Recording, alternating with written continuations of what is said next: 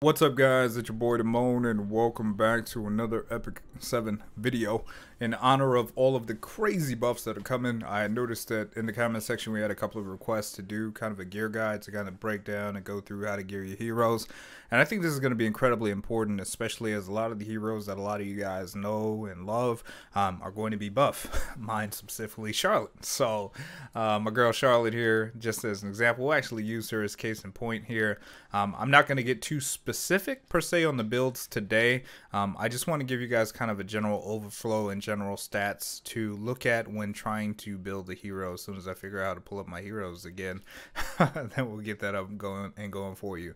Um, what I want to avoid is being so complicated to the point where, um, let's say, if, if you're looking at a particular hero and you're and I'm like talking about some advanced build that you could run as long as like all the planets are aligned and the Hershey's Kiss has a specific swirl on the top that you know curves to the left. Like, listen, we're not gonna get that in depth today because I don't want to confuse a lot of you guys. So what we're gonna do is give you a general uh, prescription uh, for how to gear certain heroes based on uh, basically what they do essentially, and we'll break that down into simplicity's sake. All right, so here we are. We're looking at Charlotte. Uh, don't please don't take this as a way to gear her. This is just some gear that I threw on her uh, a long time ago when I was interested in maybe potentially using her, but then I decided otherwise. This gear is absolutely going to change. Uh, if you guys are wondering how I'm going to build my Charlotte, I'm probably looking at a counter Elbris build. Um, so probably on counter, probably tanky, probably high damage with Elbris. That's what I'm thinking. So with a little bit of speed in there. So but in terms of general recommendations, when you guys are looking at gearing your heroes overall, what you guys are going to be looking at is class type, okay, role, all right. So class type, knight. Role is what do you want your hero to do? Do you want your hero to be a support? You want your hero to deal damage? Do you want your hero to just stand there and look silly? You want him to go to McDonald's for you, get you a Happy Meal, go to Walmart, get you some toilet paper. What is your hero going to do for you in your team composition? Now, once you figure out those the answer to those two questions, then after that, you're going to decide on how you're going to build a particular hero. So when you guys are looking at a hero, so is it is it free? no, it's not free. It's not free. Okay, Charlotte's not a good example for me to use. All right, let me pull up my BBK here then. Uh, but let's just use damage as an example, and we'll go through uh, a damage dealer, and then we'll go through a support. But basically, once you guys decide that you guys, let's say, okay, I'm looking at Bloodblade Karin, she's a thief. So typically speaking, thieves are going to have higher attack, they're going to be faster, um, and they're normally designed to deal damage. So when you guys are looking at Karin, um, the big thing that you're going to ask yourself, okay, what's her role? All right. She's a thief. What do I want her to do? I want her to deal damage. So when you guys are looking at a particular hero and you want them to deal damage, there's a few stats that you guys are going to look for. And when you guys are trying to identify your gear, the best way to go about it is to identify the stats that you need. So typically speaking, crit chance, speed, crit damage, and attack percent are the primary stats that you guys are going to be looking for for damage dealers. Are there some exceptions to the rule? Absolutely. Uh, case in point, heroes like Lina or Luna who don't need as much crit to work because Lina you can get away with 50%, Luna you can get away with 70%. Obviously, if you max your passives right, um, so you could sacrifice a little bit of crit, but where's the stats going to go? It's probably going to go either into speed and the crit damage and or attack percent right? So once you guys identify the prioritized stats or the priority stats that you guys need for the hero, that is typically what you're going to look for when you guys are selecting gear. Now, as you guys are selecting gear, there's going to be kind of a progression as you go through this. So what I mean by a progression is if you're just starting the game and you're getting into Wyvern 11 or Wyvern 10 or Wyvern 9, naturally, not every piece of gear that you get is going to be epic. Some pieces of gear are going to be blue. And blue gear is okay if you understand the stats that you need to build a character. So let's say I'm building a damage dealer and I'm rolling for gear. I get a piece of blue gear, right? I already got all my gear from adventure mode, right? That that you should have gotten that attack gear. I've already got my arena gear that you should have gotten that attack gear again uh, for your damage dealers because attack power is key when building damage dealers. So once you have that, now you're like, well, how do I fill out the rest of my gear? So kind of using a template, let's just pretend that this is attack percent here. Attack percent, crit chance, speed, crit damage. Typically speaking, when I get a piece of gear, even if it's blue, uh, you know, again, if you guys are early game, just starting out, trying to get gear or just try to gear your heroes, I'm looking for two stats that match this format. So when I start out, I'm looking for speed and crit, attack and crit, or crit damage and crit chance, right? Two of the four. Now notice I, I didn't say I was looking for attack and crit damage or speed and crit damage. The reason why is because most of the time when you guys are building damage dealers, you guys are going to prioritize crit rate and attack power or crit rate and speed. The reason why I say that is because with those two stats, those are going to give you the raw increase to uh, performance, so to speak, to your hero. So if I have attack percent and crit chance, higher crit means more chances for me to deal bonus damage.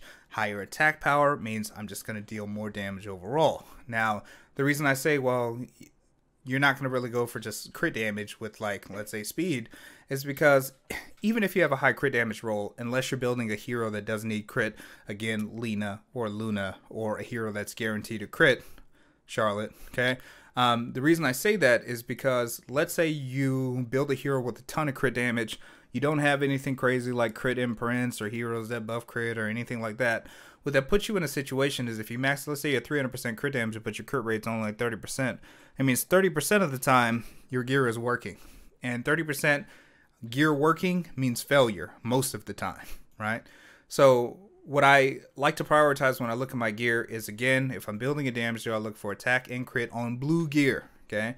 And if I have those two stats, then I'm going to proceed to roll the gear because I know both of my rolls are going to go there, and then after that, my my roll at nine and my roll at twelve is going to determine what I do with that gear after that, okay? And the same thing is going to apply once you guys started getting into purple gear. Purple gear, same thing. You guys are looking for three stats that match. So speed, crit chance, crit damage, attack, crit chance, crit damage, right? Or crit chance, crit damage, effectiveness. Now you guys were like, well, D, well, when do I use effectiveness? Now effectiveness is going to apply uh, on heroes where you actually need to land harmful effects. Case in point being my regular Karin, as you guys can see here. Again, I need a little bit more crit because 80%, 87% is a little shoddy, but I cheated this because I only use her for Wyvern 11. So since she's in Wyvern 11 with Element Advantage, she gets a bonus 15% crit anyway. So when I'm in Wyvern 11, she's always going to crit, so I'm good, right? Uh, however, shooting 400% crit on heroes that need the crit is a good idea, right? So again, crit damage, crit chance, but the thing with Karin is because of her abilities, um, her thing is she lands defense break, and I need her to land this defense break on the S2. So when you're looking at heroes that need to land harmful effects, then what you're looking at then is then you're going to want to get effectiveness. Now you don't need to you know shoot for the moon or go anything crazy and try to get like a million percent effectiveness or whatever. Um, but on your damage dealers, typically speaking, if there's harmful effects that you want them to land, that is absolutely necessary for your team to be successful, then get as much effectiveness as you can 50 is good. If you can do like 60 or 70, even better. But like, don't try to sacrifice your other stats like your raw damage uh, just to try to get like a high effectiveness roll. So if you guys can manage to do the effectiveness, great. But instead, again, I would prioritize the other stats that are most important to your class. All right. So the big thing here, guys, is when you guys are looking at this, obviously, on you no. Let me find a piece of gear with no effect resistance on it. but you guys generally get the idea. So again, damage dealers, you guys looking for speed, crit chance, crit damage, and attack power, um, and of course effectiveness if they have harmful effects that you want them to land. Um, but any any generalization or combination of those stats can be very good, and depending on how those stats roll, are going is going to determine where you're going to put the gear after you lock yourself in. Okay, so that's simply speaking. Now, the beautiful thing about this strategy that I just talked to you guys about is that you can apply this to any other type of damage dealer. And what I mean by that is it doesn't matter if the hero scales with HP, scales with defense, scales with cookies, scales with milk, whatever it is that they scale with, then you just replace the stat. So, what I mean by that is let's say I wanted to build Cecilia or like a Fallen CC. Where's my Fallen CC at? So when we go to Fallen CC here, hold on, let me switch to dark here. Fallen CC, do you love me? All right, so Fallen CC, same thing. So the difference with Fallen CC though is that she scales with health, right? So if I'm building a Fallen CC and I want her to deal damage, I'm still gonna go high crit, high crit damage. I can even maybe squeeze some attack in there, maybe some effectiveness, right? If I want to land harmful effects. But the difference is I'm changing the attack percent focus over to a health percent focus. Does that make sense? So if heroes damage scales proportionate to max health. Then you just health, crit rate, crit damage, right? And then effectiveness if they need it, and or speed if you're running them faster, right? So you see how that works?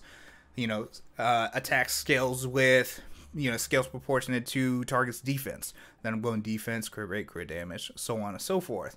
Um, and that's a real basic, you know, kind of semi-formal way uh, to build whatever hero that you want to deal maximum damage. Again, the priority priority being on the crit over the crit damage at first, and then if you can get the crit, then the crit damage, then it's good. But like if your hero doesn't get any bonuses to crit rate or anything like that, you guys are definitely going to want to make sure that you have as much crit rate as possible, as much whatever stat they scale with as possible, and then as much crit damage as possible. And the speed is going to determine where you position them. Now, once we get into supports, supports for 2020 guys is really really easy. It's real simple. Okay, so you can take any support that you want in the game. We'll use Angelica for example because she's a real common support, and, and and these guys are much much easier. As much speed, as much health, defense, attack, uh, attack power, speed, health, defense, resistance, and effectiveness if they need to land harmful effects. But like if you have those five things, it's literally all you need. So when you guys are looking at a piece of gear, this is a good example. So I got speed here, I got effect resistance, I got defense, I got health. Um, and this is a 67 gear, so this is a really good example. So same thing is going to apply here. If you find a piece of blue gear, it's got health and defense, that's a good start. It's got speed and health, that's a good start. Speed and defense, good start. Effect resistance and health, good start. Um, and you can roll pretty much any of those, right? But ideally, this is something that you guys are looking for. Now, again, if it's a support that has strips, harmful effects that are very, very pertinent to the success of your team, then effectiveness is going to be very important as well. But for your general supports, this is pretty much all you need. And you stack all these stats, pretty much good to go. Now, when trying to determine what type of speed you guys are going to use is ultimately going to depend on what you're trying to accomplish. Most supports I recommend around 170 to 200, unless you're using uh, supports for like PvP specific things where it requires a very specific amount of speed for your team to work. Now, after we kind of went over like the general prescription for how to, you know, gear your general heroes and then gear your support heroes, you guys are probably wondering what sets are best. Now, if you guys go back to my tips from the Pro Series, where I interviewed some of the top players from all over a bunch of different guilds, and they talked about a bunch of you know maths and and strategies, honestly, the best set in this game right now is speed, just because of the bonus that it gives. Now, there are other sets in the game that you can use for your attackers, like attack sets, but the only reason I would recommend attack sets is because it's easy to get for free without farming Golem. The reason I say that is because you can complete your attack sets on your damage dealers, especially if you guys are just starting out, just from doing your arena, right? Getting your conquest points, doing the stages in Sidonia, getting the extra attack gear there, getting the adventurous path gear through those sets of gear, you're done with damage dealer gear, at least for your starter teams. Everything else you can farm specifically out of Wyvern. Speed gear is typically what I recommend for all of your heroes until you get to a comfortable position to where you're able to farm most dungeons or all dungeons plus hell raid. Once you guys get there, then you guys can start doing advanced builds like the counter Elbris build that I was talking about with Charlotte. Um, but the, the the challenge here is as you guys are starting to gear your heroes, not to set yourself back in time by getting too obsessed with trying to, to, to, to complete dungeons that you may or may not be ready for. You can use speed gear from Wyvern, literally, guys, through all of the content in the game. And then if you guys are trying to do advanced builds, again, I don't recommend really getting into advanced builds until your core foundational economy is done. Okay, shouts out to Elu12 for that because that's how he worded it.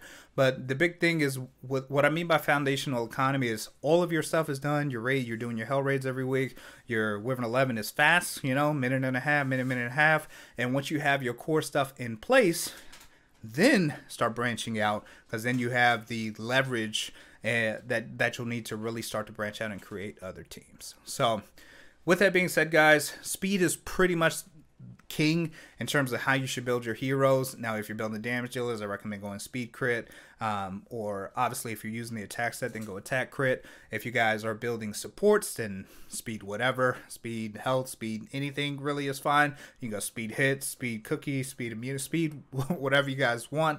Um, but that's typically what I recommend, and you guys can get offsets as well as you guys kind of go through the game, complete your raids, you know, stuff like that. So those are things that you guys can look at. Now, obviously, after you guys finish gearing your heroes and you start supplementing gear, then you can start putting in that more complicated stuff like immunity, right? If you guys want to do a golem team, you guys can get health sets, right?